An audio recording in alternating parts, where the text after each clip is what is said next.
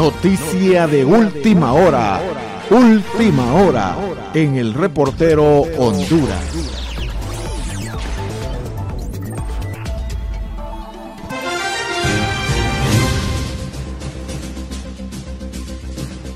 en estos momentos ya.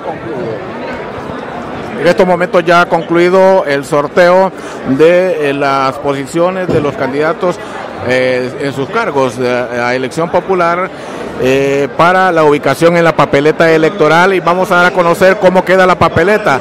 Partido Unificación Democrática en la primera casilla, la alianza de oposición encabezada por Salvador Narrala en la posición número 2, el partido Vamos de Eliseo Vallecillo Reyes en la número 13. La democracia cristiana de Lucas Aguilera en la número 4. Luis Zelaya en la número 5. Y eh, bueno, eh, esto es lo que se maneja en estos momentos. Nos han quitado eh, de la pantalla esta, mm, las posiciones de los candidatos. Pero en este momento la vamos a corroborar aquí en nuestro sistema. Em, bueno, vamos a informar en estos momentos cómo queda esta posición. Les decíamos que Luis Zelaya en la número 4, eh, Romeo Vázquez, eh, no, Luis Zelaya en la número 5, Romeo en la número 6, eh, también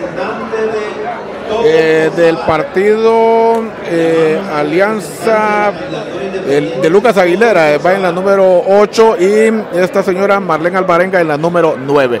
Vamos a trasladarnos a un sector aquí para lograr algunas eh, declaraciones de, eh, de, las, eh, de los candidatos que se encuentran en este sector, en este hotel capitalino.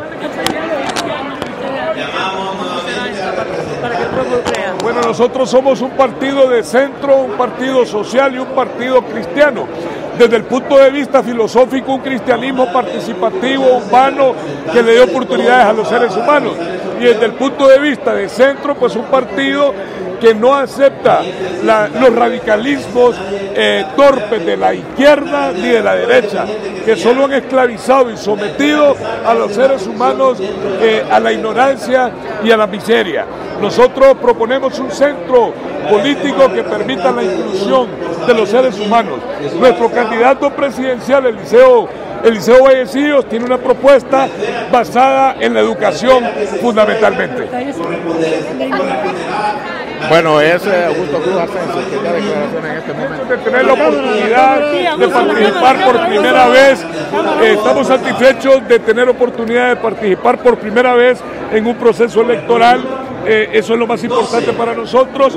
El número no sirve de nada si el mismo no va acompañado de propuestas serias abordando la problemática nacional. Bueno, declaraciones de Augusto Cruz Asensio en este momento.